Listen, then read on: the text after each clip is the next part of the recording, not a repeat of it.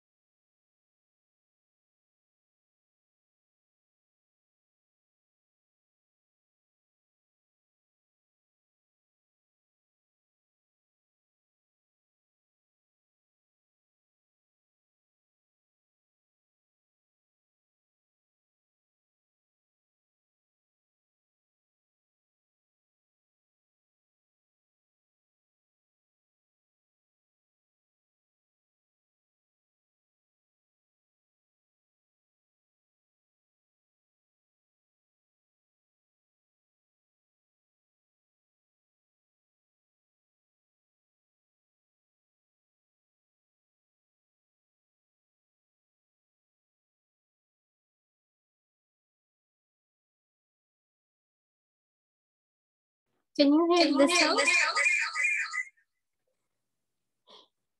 Can you hear the sound? You're very echoey.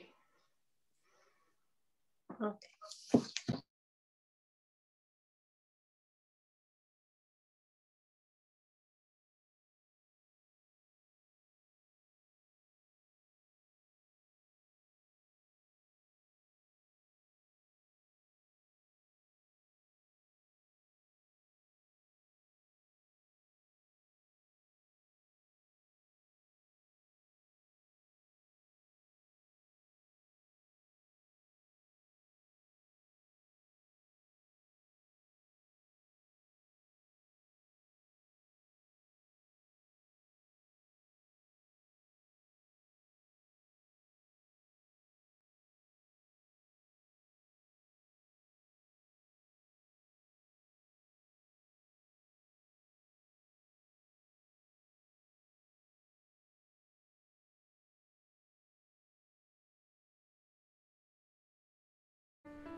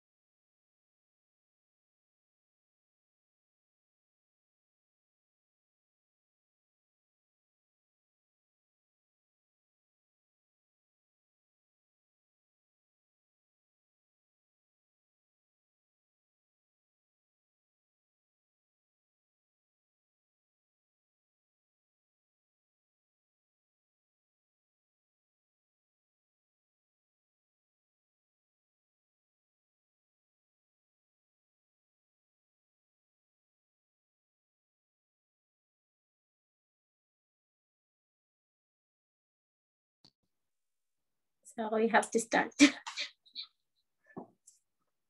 uh, can you hear me? Yeah, I can hear you. Okay, great. So hello everyone. Uh, thank you for joining us on the International House Party. My name is Duam Alibari and I'm serving as a graduate assistant for the International Student Resource Center in the Office of uh, Multicultural Service and Program. Today we have uh, a new country and uh, this is our uh, gonna be the last session for uh, the fall and uh, uh, the presenter will be Olivia. So before we start, I will read the land acknowledgement statement. it says, we want to acknowledge that we gather in traditional land of Delaware, Kickapoo, Miami Mound Builders and Piankashaw uh, Potawatomi, and uh, Shawnee, and Wea. The Wea were Miami, Illinois, originally located in Western Indiana. They were part of the large Illinois Con uh, uh, Confederation. People past and present and honor with the gratitude the land itself and the people who have uh, stewarded uh, throughout the generation. This is called us to commit to continue to learn how to be better stewards of the land we inhabited as well. And as you see, uh, this is the Wea tribe uh, at Terre Haute. It's located in the Fairbank parks. parks. So Olivia, are you ready to share your screen? Yes, I am. Great. Um, all right, so let me just share my screen first. So, oh, there we go. Okay. So my name is Olivia. Hello. And I'm an international student from Denmark. Um, and I'm a freshman, so I actually just got here uh, this December. Uh, and, you know, now I'm doing this presentation about Denmark and Danish culture. So I hope you guys enjoy it. Um, and then if you guys have any questions at the end, you know, I'll be uh, open to questions and have time for questions as well. Um, so yeah, and then we have Denmark and then this beautiful picture of uh, uh, Copenhagen, a specific street that's very famous for these very colorful houses. I'm sure you guys have seen it before. So, yep. Uh, so a little introduction to Denmark and what Denmark is as a country. Uh, so uh, Denmark, the name, uh, comes uh, from generally two places.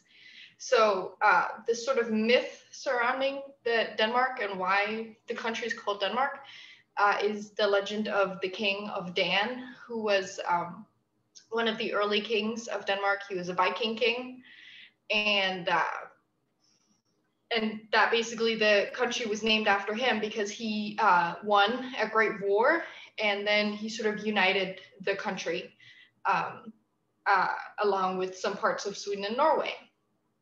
Uh, and then uh, we also have this thing, uh, or then, but even before that, where the name probably most likely comes from is because the people were called the Dani um, a long time ago. So land, so Denmark, if you break it down, means land of the Dani. So that's most likely where it comes from. But there's also the sort of the King Dan myth.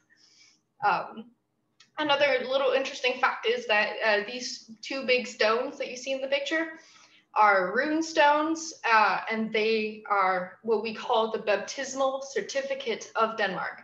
Uh, so they're sort of, uh, they were raised by uh, the first king of Denmark, actually, and that's sort of where we recognize as a Danish people sort of the start of Denmark as a united country. Um, Denmark is a very small country. It's uh, uh, 16,580 square miles uh, all together. So there's not a lot. Um, and uh, the population is about 5.8 million, which is approximately 0.07% of the world's population. So there are not a lot of Danish people in the world, particularly because the country is so small. Um, so that's very cool. Uh, and then 89% of the people who live in Denmark consider themselves ethnic Danish, uh, and then we have 11% others. So we're not very culturally diverse as a country whatsoever. Uh, we do have a lot of immigrants uh, in the country, um, but other, it's particularly from the Middle East. But other than that, you know, it's mostly Danish, very white all across. um, so coming to America, it's definitely very different where every where it's so ethnically diverse. Uh, and also, you know, it's one of the happiest countries in the world. We were ranked number one, uh, but I think that one's gone to Finland now, if I'm not mistaken. Um, so also another very interesting fact. And then we have a map of Denmark down here. Uh, and if anyone's curious, I lived right here in the middle. It's not in the middle, but in the south middle of the main peninsula, which is called Jylland or Jutland, however you want to pronounce it. And then this is Sjælland, the big island with uh, the capital, which is Copenhagen. Uh, let's see if I can switch slides. And there we have a big map of the world with Denmark outlined. So Denmark is this little bit right here that's right above uh, Germany and below Norway and Sweden. Uh, and then this is Greenland, of course, and these are the Faroe Islands. And they're not Denmark, but they are a part of uh, the Danish kingdom. Uh, so while they are technically uh, free governing states, uh, they do rely on Denmark for uh, social justice system and and uh, various uh, uh, financial uh, aids and whatnot. their schooling is primarily Danish. They learn Danish in their schools, um, but they're a completely different people, obviously. Um, yep. Uh, and culturally, where the Danish really stem from, which is very interesting, is, is the Vikings. You know, and there are a lot of uh, very uh, common conceptions about Vikings and Vikinghood. Um, but uh, Vikings were really just a rural people. Uh, so they dressed, you know, you can see an image right here. Uh, they dressed, you know, comfortably and, and sort of conveniently, you know, because they were uh, uh, peasants and, and workers in the field. Um, but there are also sailors and uh, and and a lot of other things. They were very uh, sort of uh, diverse and and sort of had a lot of skills. Uh, they were fishermen, they were they were craftsmen, they were you know farmers, a lot of things. Um, and obviously they they believed Norse mythology uh, for a long time, uh, and um, but then in the 11th and between the 11th and 10th century, Christianity was introduced in Denmark, um, and the Vikings became Christian, and that's sort of where we have most the majority of Viking history uh, is from a Christian perspective, because the Vikings didn't write a lot of things down. Um, and then, of course, in the 16th century, uh, Lutheranism sort of became the big thing. Uh, so that means that now uh, we're a Protestant nation. It is the main religion in Denmark. Um, uh, and that's there, we have a lot of, and not a lot of people are religious in Denmark, but it's sort of the cultural norm that uh, that everybody is is sort of Protestant or and have some sort of connection to the church in some way. People get married in churches typically, and and people typically get baptized and whatnot. Um, and then some very interesting things about the Vikings: uh, women uh, had a lot of political freedoms. Actually, uh, they were sort of they were not considered the head of the house, uh, but they were considered. Um, but but they were considered but they were considered um, uh, the in charge of the house. They were in charge of uh, rearing children and of of cleaning and and and that's sort of where the men really didn't get to decide a lot of things. The men were in charge of the economics typically. Uh, and while the women were typically involved in uh, the men's work as well, uh, they were of course the head, but the women had full say in rearing of children and of taking care of the home and and typically of cooking as well. Um, and those political freedoms, uh, they were also free to divorce, actually. So uh, married women, if they didn't like their husbands or were mistreated by their husbands, they were free to get divorced as well. And that's sort of a thing that went away uh, when Christianity sort of came in. Um, and women became a lot more restricted in uh, also the Viking society, even though they previously had had a lot of freedoms. And these freedoms are uh, things that are that don't that aren't really mentioned anymore in 13th century. When we round that, the women just don't have those freedoms anymore. Uh, and then another interesting thing is Blåtand is the first king of Denmark uh, from uh, the year 965, and he's also the guy who uh, raised the, the baptismal certificate um, in honor of his mother and father. Um, yep. Uh, another interesting thing is our flag called Dannebrog. Um, and it's actually the oldest national flag in the world. And it's uh, this very, it's on this very bright red background uh, with the white uh, cross in the middle, very typical Scandinavian flag. Um, and it's been around at least since the 16th century, this flag. Uh, so very old national flag. Um, and the big Danish myth and why this flag is really interesting is uh, because it's actually said to have fallen from the heavens uh, during the Battle of uh, Lyndanisse, uh, which was a place in Estonia, um, during uh, the one of the many Danish uh, conquests um, in uh, the year 1219 on the 15th of June.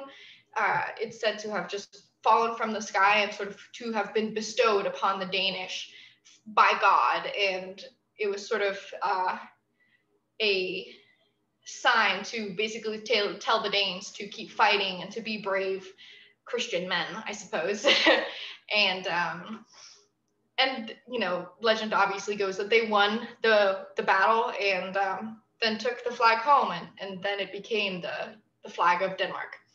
Um, but it the flag has appeared uh, before this before that date, obviously, um, in like uh, art and whatnot. So it's definitely older, but it's not particularly very well known where it exactly originates from. Um, like I said, uh, Denmark is a kingdom. It is a constitutional monarchy, which means that we actually have a queen and uh, a uh, a uh, what's it called? A uh, royal family, sort of similar to England.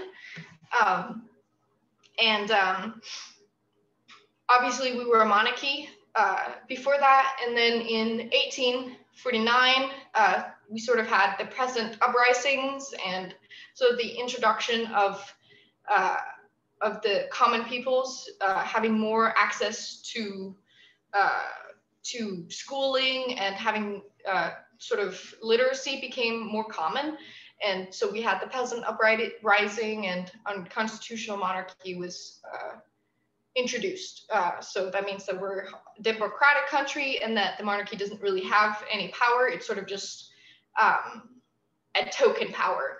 So the queen still stamps our laws, uh, but she can't really say no, obviously, if it's sort of decided by our democratic parties. Um, and then within that, uh, obviously, once again, Greenland and the Faroe Islands are a part of the Kingdom of Denmark.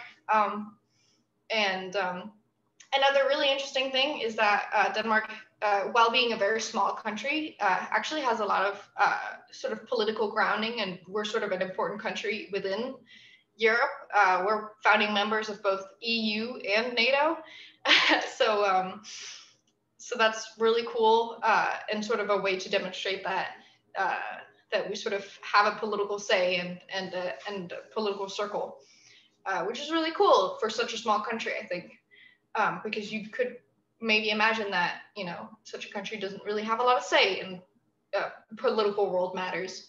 Um, and then there's also a picture of the uh, the crown, the, the royal crown, and this is actually on display in the in the National Museum Museum in Copenhagen. Uh, so that's really cool. If you guys ever visit, you can go see it. Um, Copenhagen is the capital of Denmark, and it is very well known for its canals. It is obviously a uh, harbor city. Um, and so you'll see a lot of canals running through the city and a lot of sort of boat traffic. Um, and a really popular thing is uh, to sort of take canal trips uh, and you can see the Little Mermaid and and other various things throughout uh, Copenhagen on these trips. So that's really cool. Uh, and uh, then we're very well known for bicycles because it, you know, it's kind of hard to get around in big cities with cars. So we have a really bicycle friendly uh, city with huge bicycle lanes, sort of as you can see on this picture uh, and there are a lot of them, a lot of bicycles. Uh, that's sort of a big impression that people who usually visit Copenhagen say that Denmark's got a lot of bicycles, and it's not just in Copenhagen. Uh, bicycles are very common. I have a bicycle as well because I can't go without it. Um, yes, The Little Mermaid is from Denmark. It's uh, actually a tale by Hans Christian Andersen, who is a uh, Danish um, kids story writer. Like, yeah, he did a lot of tales. He also did the uh, the Ugly Duckling and a lot of other other tales. Yeah. So there's a the Little Mermaid is sort of a statue commencing his uh, stories. Yep. So that's very cool. um, I'm pretty sure there's also actually a Hans Christian Andersen museum in Copenhagen. So that's also very interesting uh, if anybody wants to go see that sometime. Uh, and then, of course, uh, since moving on, uh, since uh, Denmark sort of was a monarchy, there are also a lot of very huge gardens uh, and castles and whatnot that have been raised by Denmark's, you know, many kings and and queens and whatnot throughout history. Um, and and they're all the, and the majority of them are open to the public uh, for free so you can walk around see the pretty flowers and, and the gardens and, and whatnot. So that's really cool. Um, danish national uh, we have uh, every, every country sort of has things that are you know their national bird their national flower. Uh, so the danish national flower is the daisy which i actually did not know but figured out when i was making this. So that's very cool. Um, and our Danish national bird, bird is the swan. Um, and uh, then our national dish is uh, this this dish over here, which is called um, uh, stegt flæsk med persillesauce. and it's essentially just uh, sort of uh, cuts of pork that are fried quite heavily on a pan, and then uh, boiled potatoes with a uh, parsley gravy. So that's it's very lovely, very nice, um, very typical Danish uh, food. And then we have our na- national anthem. Uh, and our national sport is soccer, if if anybody was interested in that as well. Uh, the Danish national anthem, we actually have two. We're a very particular country. Usually countries have uh, a single national anthem, uh, but Denmark actually has two. And so the first, the original national anthem uh, was uh, adopted in 1780. And it's also one of the oldest national anthems in the world, not the oldest, but one of them. And it was uh, written as a part of a play that was supposed to honor uh, sailors uh, that had uh, helped the Danish army during the wars with Sweden between the 17th and 18th century uh, and it was and it sort of uh, is is this uh, very uh, big national anthem that sort of honors Denmark as a country and sort of belittles the other countries for not for being less essentially. um, so in uh, 1890 uh, a new national anthem was actually written because Denmark had just lost Norway uh, and Norway sort of had become an independent country, which was a huge time in Denmark. Uh, and so, or it was a huge period in Denmark, and it sort of led to this uh, nationalistic period where instead of looking out and sort of having these uh, ideas of conquest and a, and a, grand nation, we started to look within Denmark and, and what we can offer as a people and as a country and ourselves. Um, and so that's what this the new national anthem basically is. And it was an attempt to steer away from national international animosity and whatnot uh, and it essentially just praises danish nature and danish culture uh, for for being great in itself. Um, and these but these are both used still. Uh, the the old one is mainly used in connection to the royal family and the new one is mostly used in terms of like sporting events and whatnot. So that's the one that our sports team will sing. And i actually have a video of that right here which is really cool because we're very well known in the sports scene for singing our national anthem really well and really loud so that they'll end up turning the music off so that it's just just the people in the audience singing which is really cool so if I can figure out how to share my sound really quickly. All right. I hope this worked. Did that work?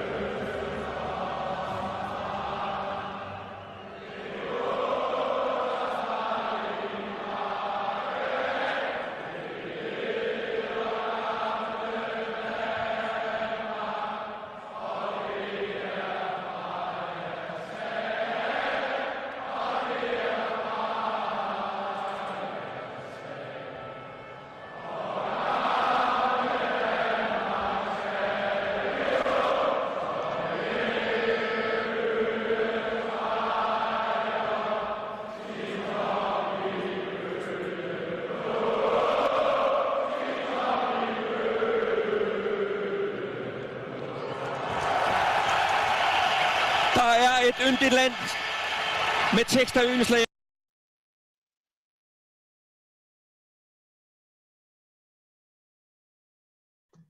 So yeah, that's our national anthem. Very cool. Um, yeah. Oh, wait. Let's see if I can. Okay, and sort of, uh, you know, hopping off of the whole bit about our national anthem. Uh, since it does praise Danish nature, I thought I would talk about it for a little bit. Uh, Denmark is sort of very flat, and uh, the majority of Denmark is uh, fields and just used in general for various kinds of agriculture. Um, and uh, but we also have a lot of forest. 13% uh, of our country uh, is forested, and that's something we're very proud of, even though it's not necessarily a lot. It sort of is a lot for us as a country uh, particularly when we're so small. Um, and uh, it's also something that we've been making sure to keep that 13% so that that doesn't get lowered. So we actually have a policy in Denmark that if you uh, cut down a tree, you essentially have to plant a new one, um, which is very cool. Um, and going off of Denmark being flat, the highest point in Denmark is called Møllehøj, and uh, it's only 170 meters or 560 feet above sea level. So, and that is the absolute highest point in Denmark. Uh, so that's not a lot. um, and uh, obviously Denmark is surrounded by a lot of water. So we have absolutely gorgeous beaches, um, which is really cool.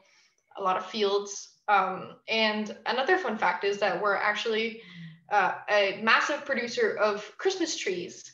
Um, so Germany and England will sort of swoop in and buy as many Christmas trees as they can because the Danish Christmas tree is sort of, you know, the end all be all of Christmas trees um, in Europe, particularly. So that's really cool. Oh. Did I skip one? Wait, I can't figure it out. Okay, there we go. Uh, uh, Danish foods. Um, so uh, the majority of Danish cuisine is rooted in uh, peasant dishes. Uh, so we eat a lot of sort of roots, tubers, potatoes, um, beets, carrots, all of those things um, that are easy and cheap to produce and that are quite hardy as well. Um, and uh, we particularly eat a lot of pork, a lot of grain as well.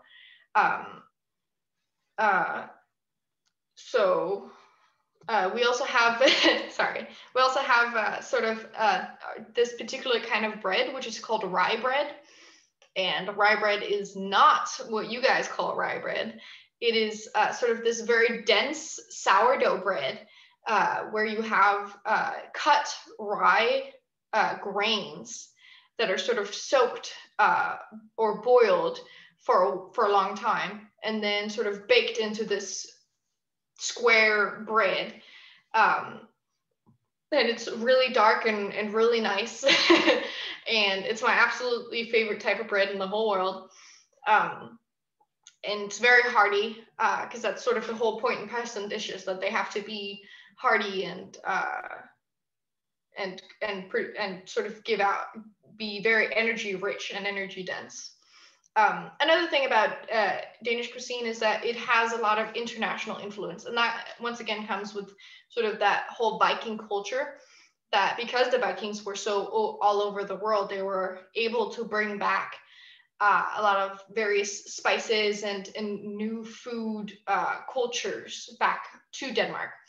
And, and that can be seen throughout history with the presence of cardamom and black pepper, and nutmeg, and cinnamon in our dishes and in our baking and and whatnot uh, which is really cool. So so that international influence is, is really important. Um, and uh, sort of when you think of denmark typically people think of the danish sort of the the pastry uh, and actually the danish doesn't necessarily have much to do with denmark uh, because they were not developed in Denmark or anything. Uh, it, it was actually um, a uh, type of baking that was brought back to Denmark by Austrian bakers. Um, and uh, like it's sort of a baking technique that they brought back. And, uh, and a lot of Austrian bakers sort of came to Denmark for work and uh, and this Dan- and this pastry that sort of became known as the Danish uh, sort of really should be credited to these Austrian bakers and, and this Austrian tradition of these flaky pastries. Um, and but we sort of just you know incorporated them in our culture. And you can find these pastries basically in any bakery on any street corner in denmark. They're very common.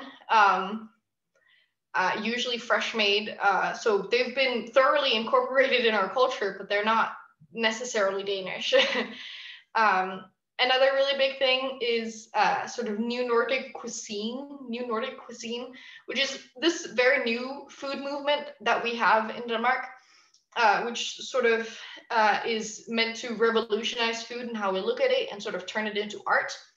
Uh, so we have a restaurant in Denmark that is actually considered the world's best.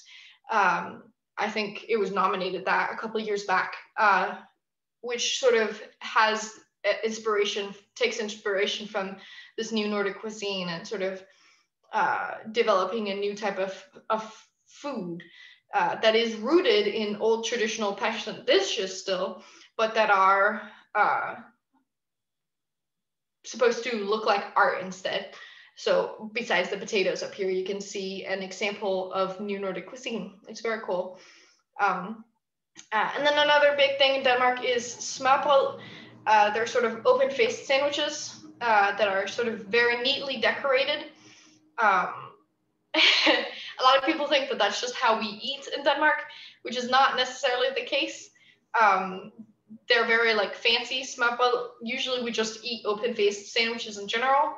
Um, but but smørrebrød particularly are usually for like lunch parties and whatnot, or or they can also be found in bakeries and, and lunch places uh, typically uh, on the street and whatnot. Um, so that's very cool.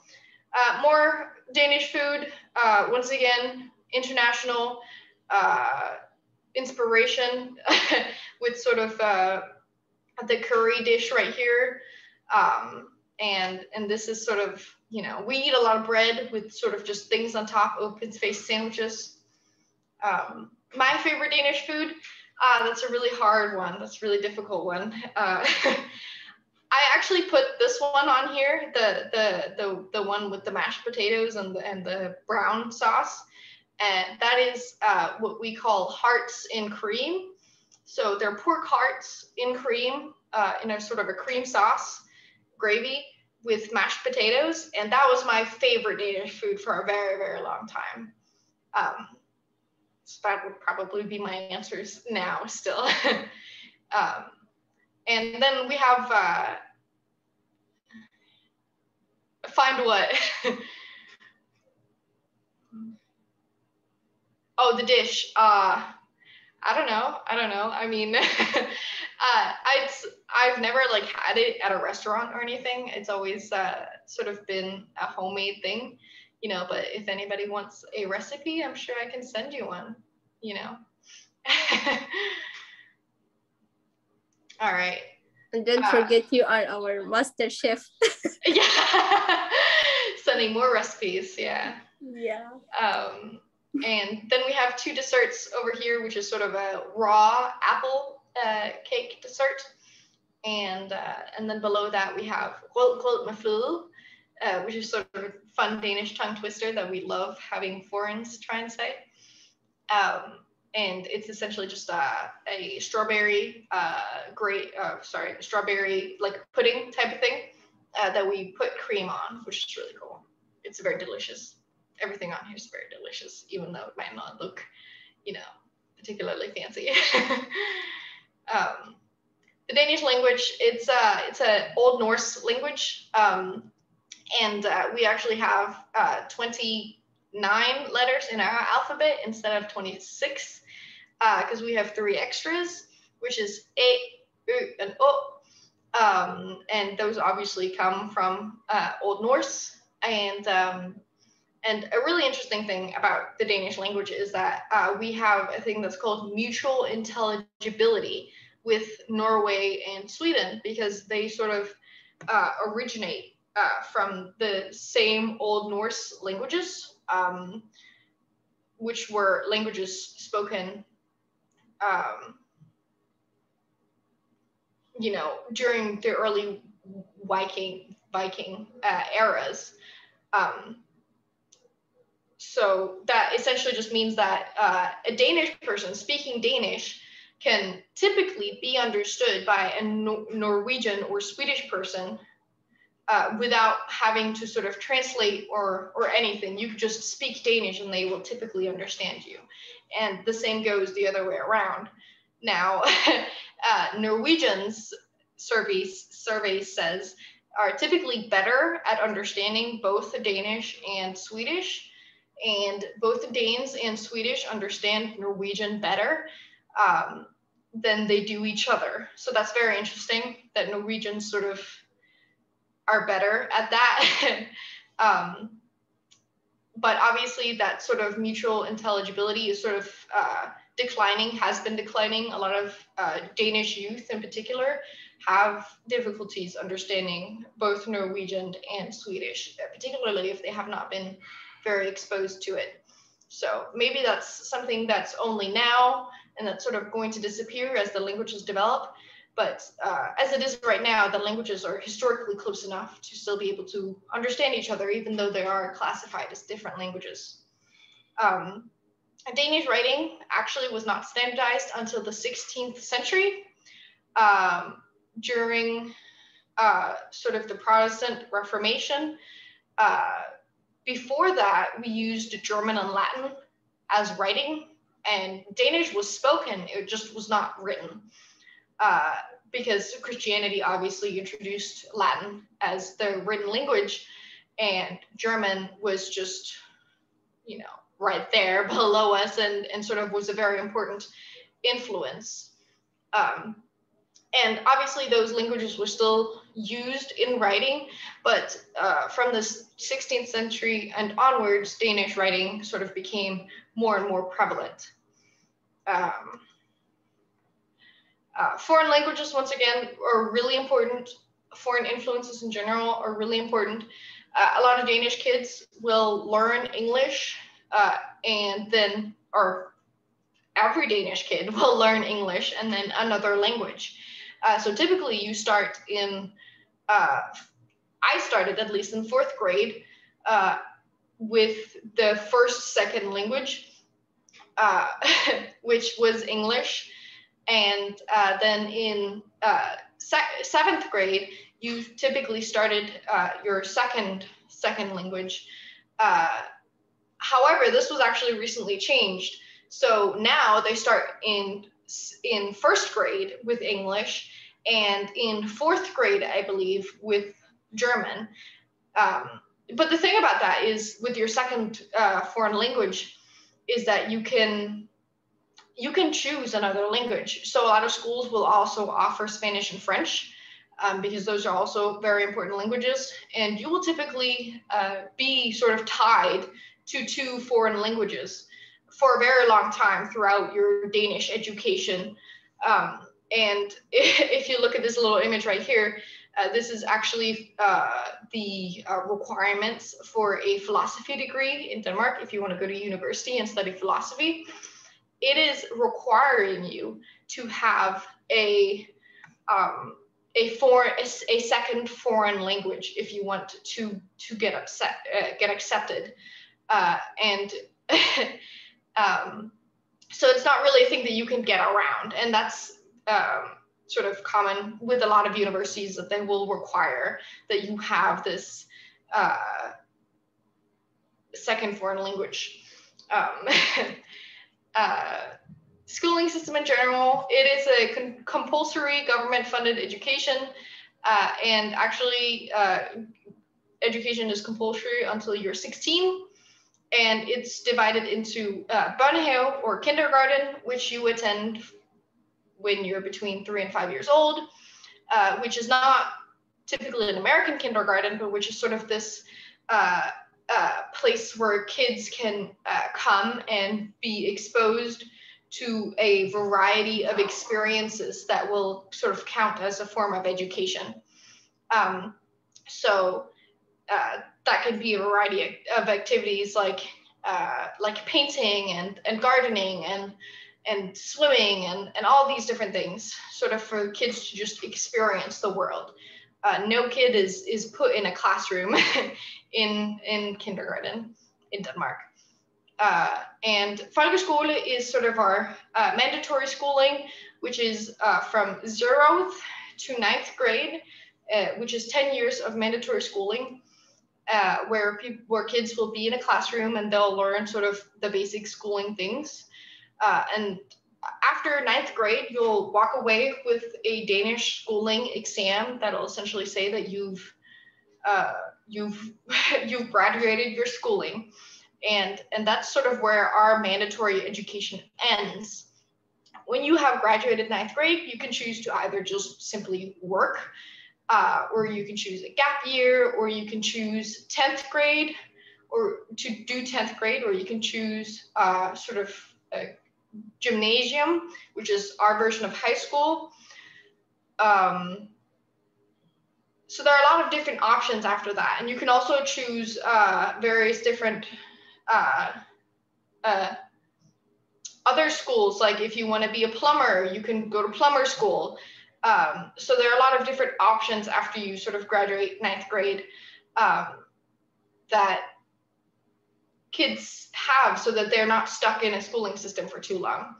Um, and but if you want to go to university and sort of do something that's academically oriented, like be a teacher or or study philosophy, uh, then you usually then you need to do uh, high school or gymnasium, and approximately 80% of the Danish population uh, decide to do that.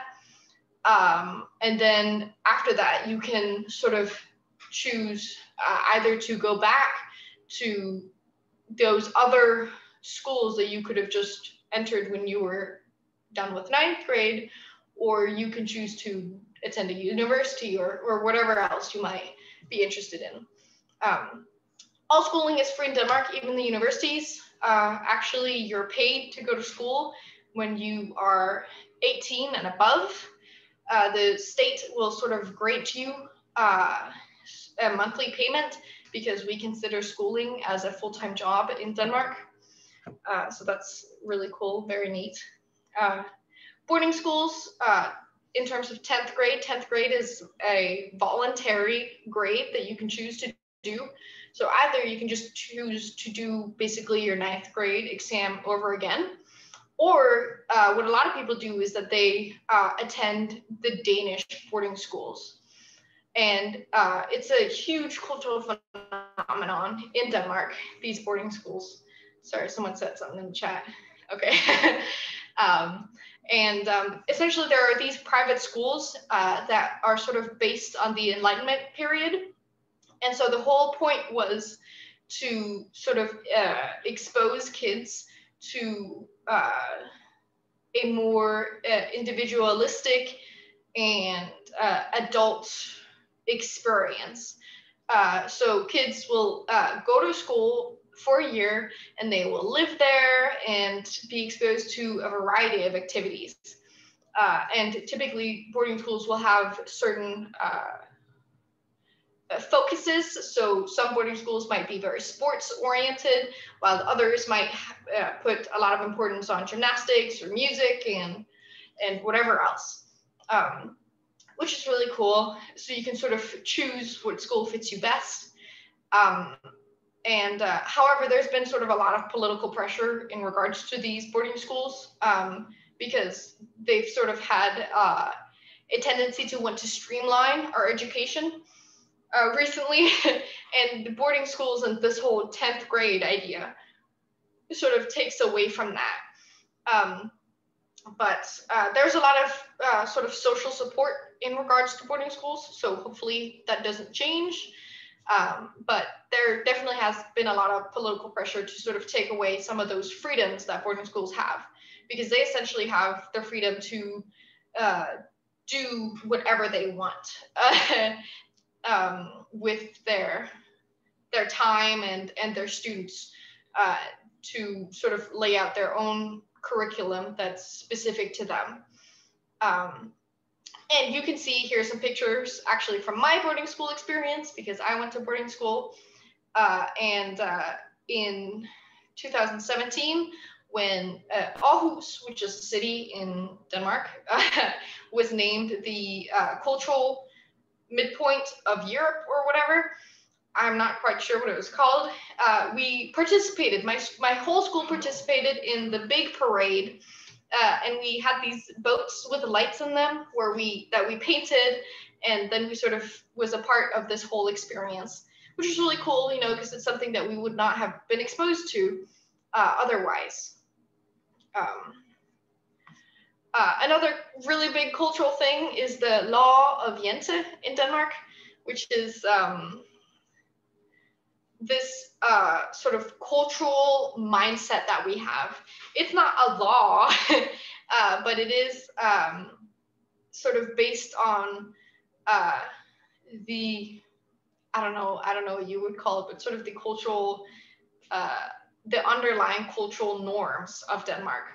Uh, and this this law, these law, and this list that you see on the screen was actually developed by uh, a Danish Norwegian author uh, in a satirical novel of his.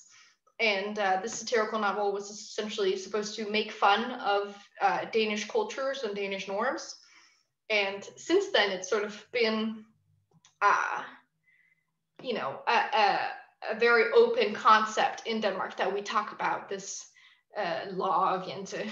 Um, even though we don't see it written out like this a lot. So basically, it says that that you're not to think that you're anything special and you're not to think that you're as good as us and you're not to think that you're smarter than us and so on and so forth so it's essentially sort of a way to promote the community instead of the individual um, and uh, and it sort of creates this sort of enclosed in environment in which everyone is is sort of humble, I suppose.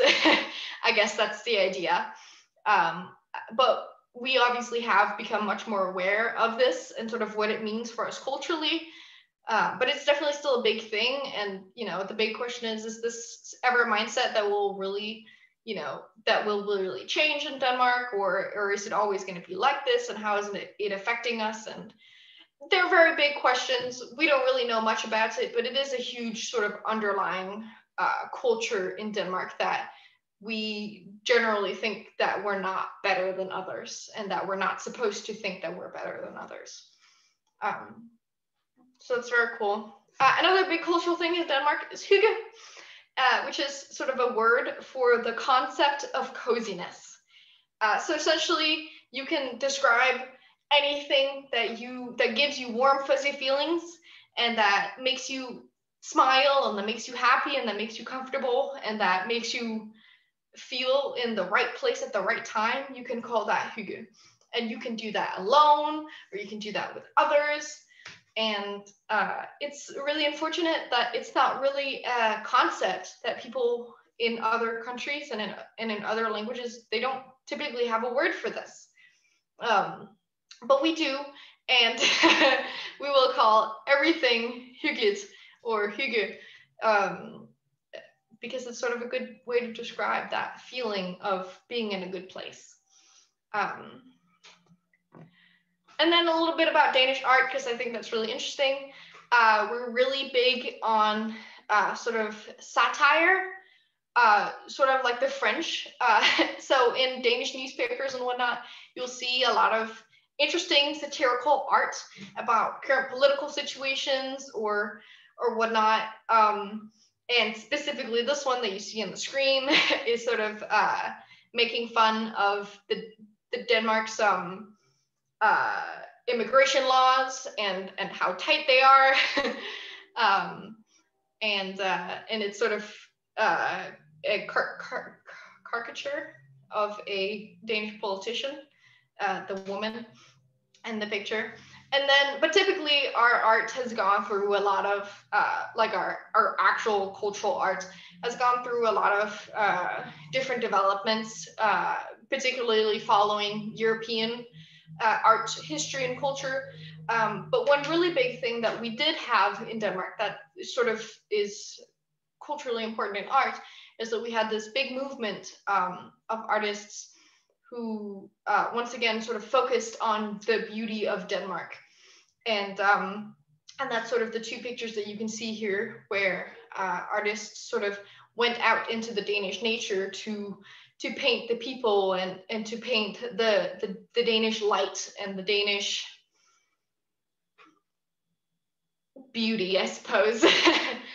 um, so so those are sort of the two big cultural things, but we don't really have anything that's particularly Danish because once again, we sort of are, have a lot of international influences uh, and typically follow sort of the European history, of course, with a lot of our own uh, specific developments that are specific to Denmark, but but otherwise it's you know very generic in a sense. Um, and then, you know, if anybody has any questions, I thought I sort of wanted to show off Danish graduation. When you graduate high school in Denmark, uh, everybody dresses in white and, you know, the Danish flags are raised and people typically uh, go out partying and, and sort of, you know, uh, people typically what's called um, rent a, a big truck that you can see in this picture. That that's that's our truck, the truck our class rented together. And they will go round around the city and they'll visit everybody's houses. Uh, and then everybody's parents will be there and serve cake and drinks and whatnot. Um, and everybody will get extremely drunk, uh, which is not something I participated in, but you know, sort of a part of the game, I suppose, for a lot of the, the Danish youth. And then our graduation caps are, are these guys that you can see in the picture. Uh, there are a lot of sort of variety of these depending on what uh, sort of high school education you do. Um, but this is sort of the generic run. And this is my graduation cap. Very cool. um, so if anybody has any questions about Denmark or or about my experiences here or anything, feel free to ask. I have a question. Why do you wear white when you graduate? Is there like any reason to that or just what you guys do? Uh, I uh, I think um, it's because Danish uh, schools typically were uh, sort of Christian education academic schools. I, am not quite sure what those are called. Um, and white is obviously sort of the, the color of innocence and whatnot. So I think it's supposed to sort of represent that transition into uh, an academic adulthood. And it's also sort of a, a color of of class in a sense that you are that you have the ability to wear white. Uh, so I think that that's just carried over uh, from sort of that time when uh, going to these uh, gymnasiums or high schools were sort of uh, a uh, a privileged privileged thing to do, and it was very connected to the church and whatnot. So, I loved your presentation, Olivia. Thank you. Thank you. Thank you. Thank you, Olivia, for sharing this great and rich information. For me, I was like, know a little bit about Denmark, like from movie, the Viking and all these things. So thank you so much. Uh, Sydney, yeah.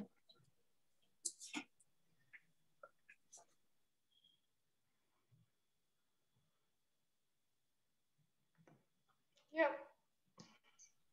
I'm glad everybody enjoyed it. I'm glad, no, it was informational. yeah, you did a great job. Thank, Thank you, you so much. Thank you everyone for joining us. And for our upcoming event, we have tomorrow, Power On at the same time. Uh, it's uh, We're gonna learn about how to manage um, uh, the stress since it April, it's the Stress um, Awareness Month. So join us and follow us in our social media. And thank you. Have a great night. Yeah, have a good night. Thank you for coming, everybody. And this session will be uh, recorded and uh, we will upload it to the MSP YouTube channel. So you can share it with uh, everyone.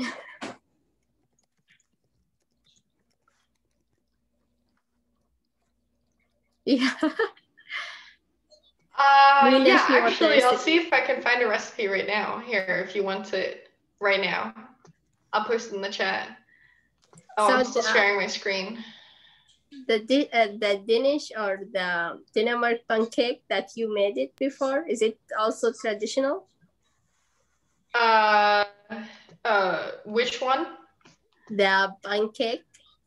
You did uh, it. Yeah, uh, so that's a, typically a traditional dessert that we eat around Christmas. Um, yeah. Uh, let's see. Um, uh, here we go.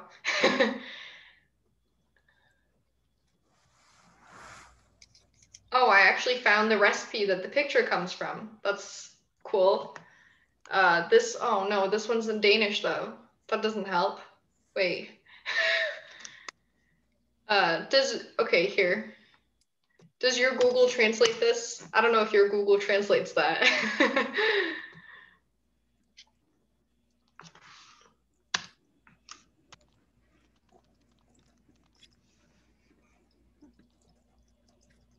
oh, actually. Is there any option to change the language from the website? Because I can't understand. uh, here, I'll also post this one that's uh, another, th that one's uh, in English.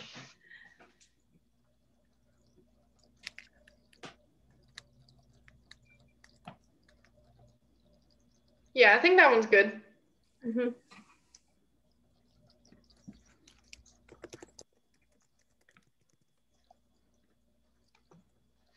Yeah, no problem. so what is it, the DL cream? Or what? I'm not sure. I Can't. Hmm? I'm reading the recipe and the ingredients. Oh. Hi, thank you for having me. Thank you so much for joining us. Yeah. Thank you for Have a great night. You too. Bye. Bye. Oh, you did a great job, Olivia. Thank you. Thank you.